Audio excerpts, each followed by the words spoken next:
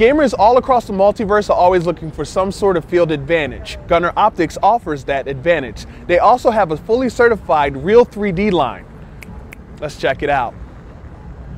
Hi, I'm Jen. I'm, uh, I work with Gunnar Optiks. We're a San Diego-based company out of Carlsbad, California, and we are here at CES 2011. Um, so if you take a look at our eyewear, uh, we actually do a combination of things. We're doing uh, the tints, the coatings, the lens geometry. If you notice, we are using a higher base curve here, um, as well as the frame material, uh, lightweight, ergonomically designed to be real comfortable.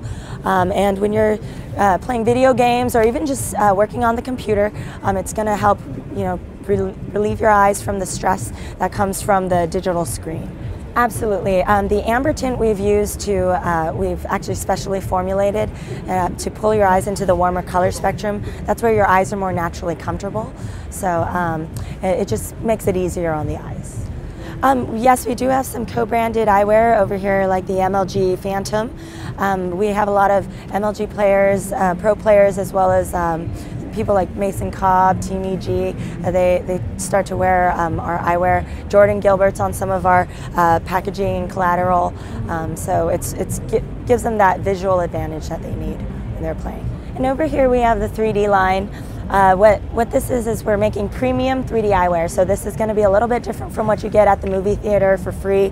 Um, we're, we're an optical company, so we like to make, um, we want to make sure that the optics are true and um, maximized to their truest potential. The reason why is because, you know, movies and all this 3D content that comes out, there's so much money being poured into it. And then you go and use a pair of glasses that cost as much as a gumball. And so you're really, there's a disconnect between what you're what your um, what the movie goers intend or the movie producers intended, and um, and what you're experiencing through you know a cheap film or something like that. So um, our 3D eyewear is made to be optically pure and pull in as much light.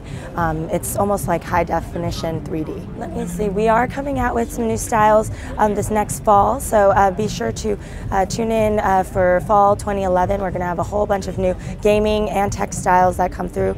We've also done some cool work with socket sets. So some of our eyewear actually has um, different temples over here and what's going to happen is uh, these temples can actually come off and you can customize them um, with different colors or different themes uh, depending on um, you know what you're doing or who you associate with so it's, it's going to be really cool to get, get your own customization even just for colors um, and you know looking good and all that stuff um, you can get prescription right now in our amber um, indoor line but not yet in 3D but it's, it should be coming soon. And you have a clear line as well. We do have a clear line. It's part of our indoor line. It's specifically made for graphic designers and video editors who have to work in true color. Um, when it comes down to it, we're going to always say that amber is better for eye strain. Um, however, if you do have that true color limitation, then we do have an alternative solution for that. So it would be our Crystalline tint. Cool, thanks. All right, thank you.